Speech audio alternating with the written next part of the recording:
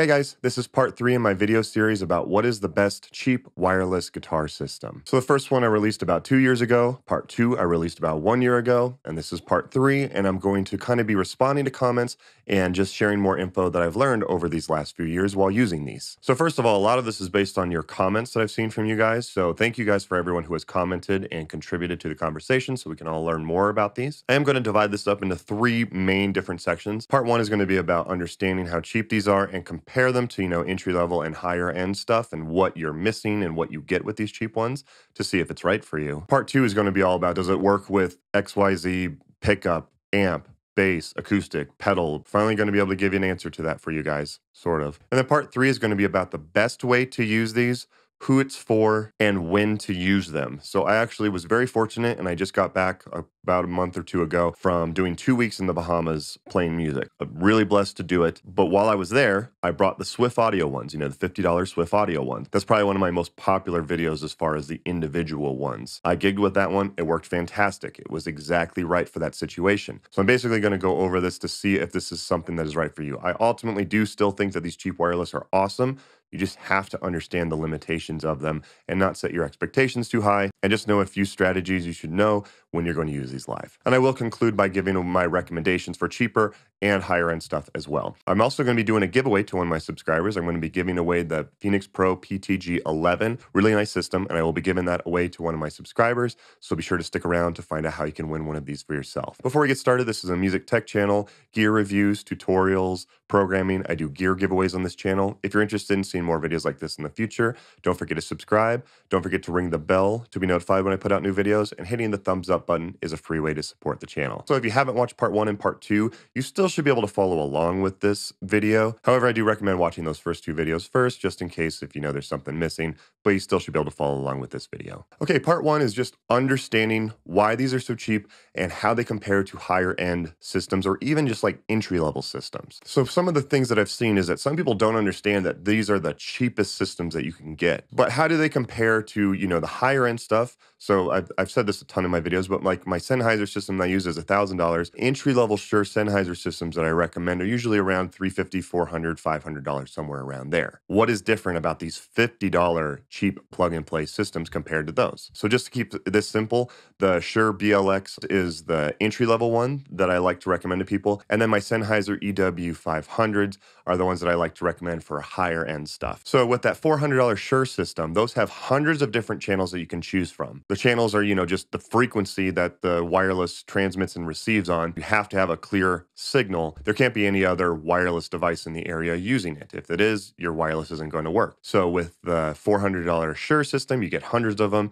With my $1,000 Sennheisers, I have over 3,000 frequencies that I can find with those. With these cheap ones, you usually can get like four. I mean, some of them are like, you know, eight or 10. They definitely have a limited number of channels with the cheaper ones. That means if you go to a show, you have four channels that you can choose from with your wireless.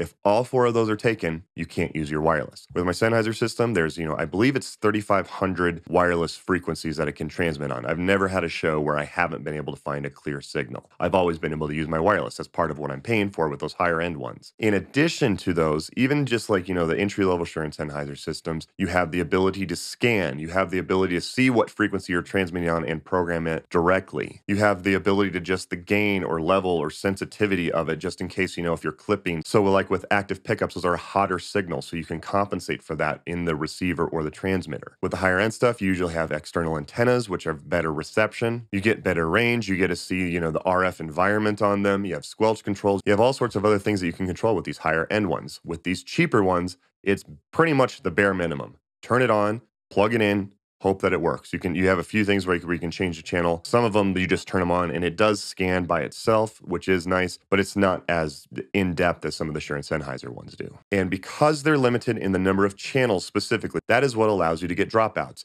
So dropouts can happen anywhere. You can have dropouts anywhere. That just means that you know whatever frequency you're transmitting on from going from transmitter to the receiver, something interfered with that and it caused the signal to drop out. But the thing is, again, you only have four channels. Think about it. You've seen videos of like Metallica's wireless mics getting cut out. Metallica literally has probably the highest end quality audio. They have a whole sound crew doing it and they still sometimes will get a dropout with wireless system. You have to understand that if Metallica can lose their signal, their wireless signal at a show with the highest end gear imaginable, you have to understand like, hmm, this might happen with my $50 wireless system with only four channels. I will give you a very important tip in part three of this video that actually is going to help reduce the chance of that happening. If you do get dropouts, it's not because the wireless sucks, it's because the RF environment is crowded, the wireless environment was crowded, and you played a show, you showed up with a knife to a gunfight. You had four channels,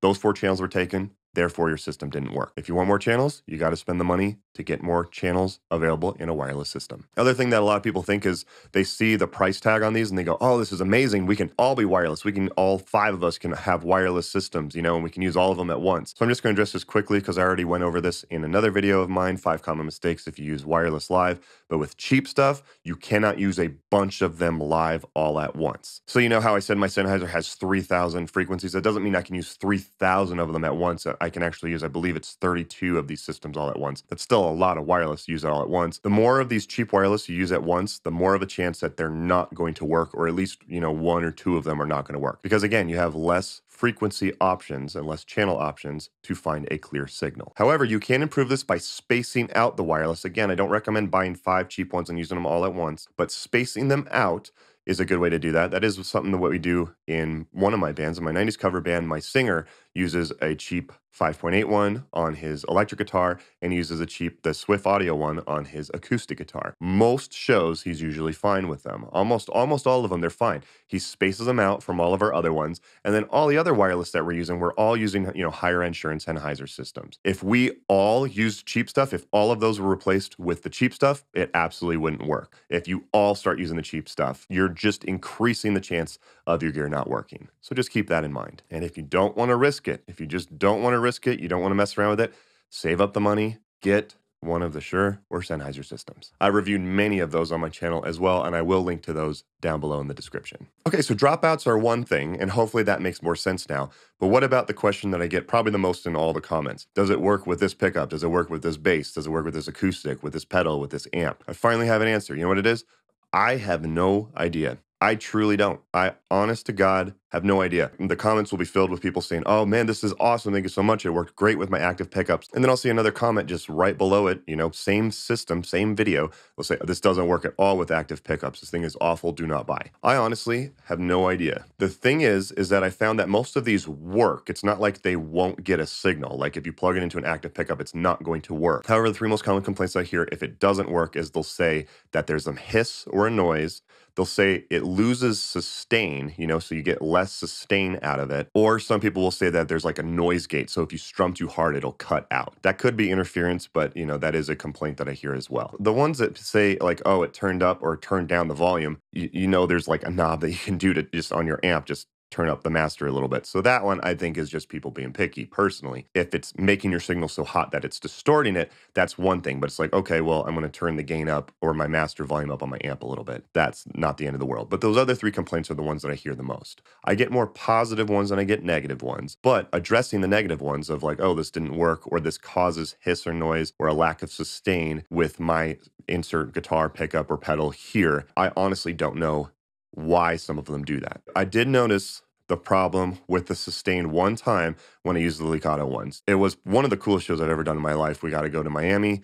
We got to go on a yacht for a, a, like a private company party, and we got to sail around Miami at night. Awesome view. I, it was so cool. I love that city, especially at night and, and being on the water. It was amazing. We, when we were doing that, I did notice I went Variax guitar straight into my HX Stomp, and that was it. That was my fly rig. It worked out really well. I did notice I was like, man, there's something wrong with like the sustain on my guitar right now. I noticed it during sound check. After that, I honestly didn't care because it was just such a it was just such a cool experience, and I guarantee you the audience didn't care. No one in the audience was going, hmm, I hear a lack of sustain coming out of that HX Stomps, but I did notice notice it that one time. But every time else, it's been fine. So maybe it was like a power issue. I mean, how is how's the power for a band like on a boat. Like I, that was my first time doing that. Every other time it's been fine. However, the 5.8 gigahertz one by NUX, that was one of my favorite ones. I love that one because it has like a carrying case that charges the wireless. So it's like, you know, Apple AirPods thing where the case charges it and then, you know, you charge the case after a while. Really, really cool. I loved that one. That worked great with my PRS. That worked great with my acoustic until I got my GTRS guitar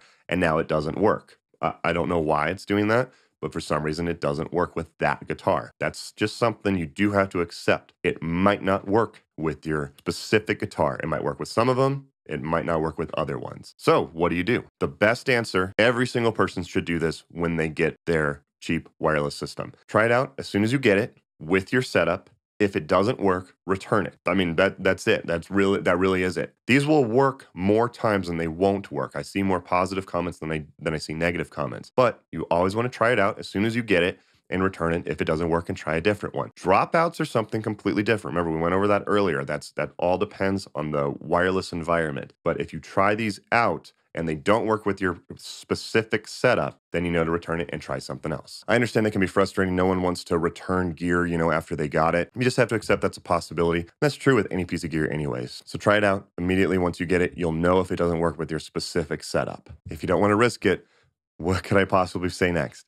Get a Shure or a Sennheiser system, save up the money, and don't risk it. So every time I get that question in the comments of does it work with this, this, this, or this, I'm just going to direct them to this video now because I honest to God just have no idea. All right, so the last part, what is the best way to use these? Who are these for and when is the best way to use them or how is the best way to use them? One of the best ways to use this is because like I said, there's a limited number of channels in these. I recommend buying two of them and buy two of them on different frequencies. So the thing is, if you buy one on 5.8 gigahertz, and for some reason 5.8 gigahertz is giving you trouble, it wouldn't make sense to switch to another one on 5.8, right? But if you switch to like another one in the 900 megahertz, there's a more likely chance that it's going to work since 5.8 is clearly crowded in the venue that you're playing at. You can get two of them for $100, which is already cheap. I do recommend actually getting three. They're about $50 each. So get one in 2.4, one in 5.8, and then one in 900 megahertz assuming that your country allows 900 megahertz, the United States does. And then you have three different options. So if, you know, 2.4 is crowded, 2.4 is usually the most crowded. So that's the one I usually use the least. But if I try like my 900 one and that one's crowded, I'll switch to my 5.8.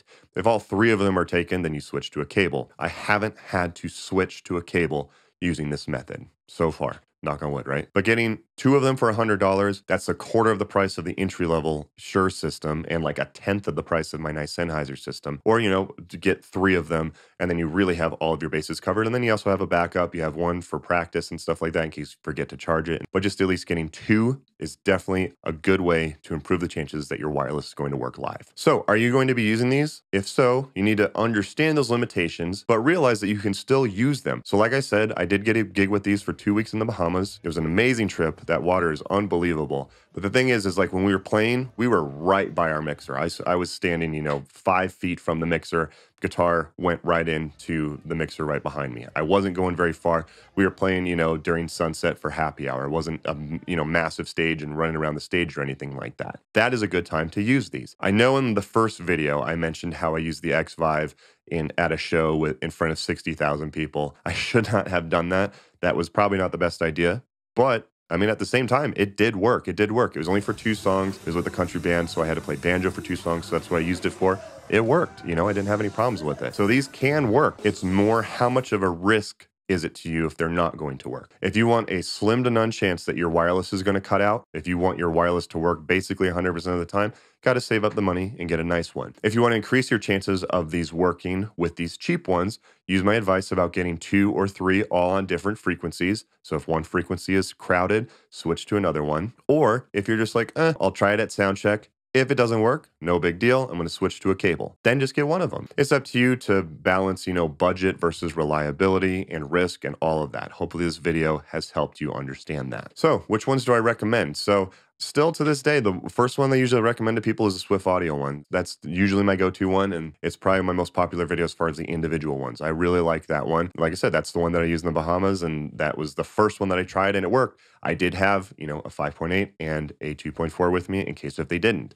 that one did happen to work. For the 5.8 one, I really like the NUX ones. They have a 5.8 and a 2.4 one, and they come in those cases with the charging. It is really cool. It protects it, it charges it. Really good design. They specifically work with active pickups. They advertise it as such. I do really like that one. Those are more expensive though, about, you know, 150-ish around there. So going with my oh buy three of them for 50 bucks, th- that's up to you. If you don't want to spend that much money, I do like the Getaria and the Lekato ones on 5.8. Most of these are all ripoffs of each other or at least somehow copycats. You'll see them on Amazon. You'll scroll through them and you'll see a bunch of different ones. The main difference with them is what frequency are they on. Most of them are on 2.4 or 5.8. Some of them are in the 900s. A lot of people will ask, oh, can you review this one? Can you review this one? It's like, well, it's just another 5.8 gigahertz system with four channels. There's nothing different about these compared to the other ones. Most important thing is just get them on different frequencies. As far as the 2.4, the Getaria one's the one that I have, so that's usually the one I recommend. The Brian Fay one is really nice as well. That's in a band that I'm not as familiar with.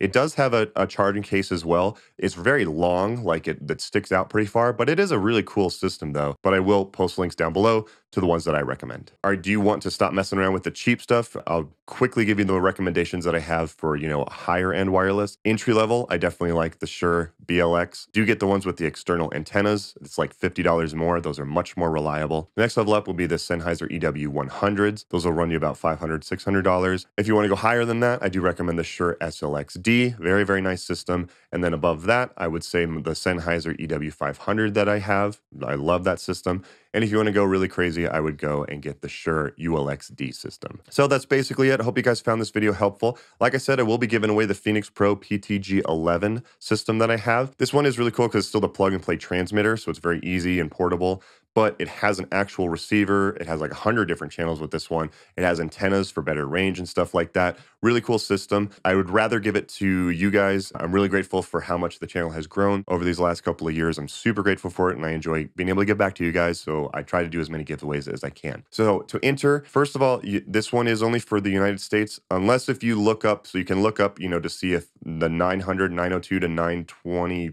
8 megahertz frequency is legal in your region. I know some people in Europe and I believe Canada say that you can't use that. So this one is mostly for the United States, unless if you find out that your country does allow 900 megahertz frequencies to be used. So if you do want to be entered, you one, you have to be a subscriber. This is only for subscribers. And you have to leave a comment down below using the magic phrase. First time it was pickles, second time it was peanut butter. So third time, this is going to be pineapple pizza. You have to use the word pineapple pizza sometime in the comment section down below in order to be entered to win the drawing for this free wireless system. You can say whatever you want, just at some point, just say pineapple pizza. I will do the drawing on my YouTube Instagram, and Facebook stories. That's the best way to do this, and I will contact the winner. Please do not respond to scammers. I will never, ever, ever, ever ask you for money for these giveaways. So thank you guys again for watching. If you guys found this content helpful, do me a favor, just hit the thumbs up button. So if you're in the market for some cheap in-ear monitor systems, I've also done multiple reviews on those, as well as cheap wireless microphones and stuff like that. I also have reviewed the higher end stuff as well. So if you're interested in checking out some of those,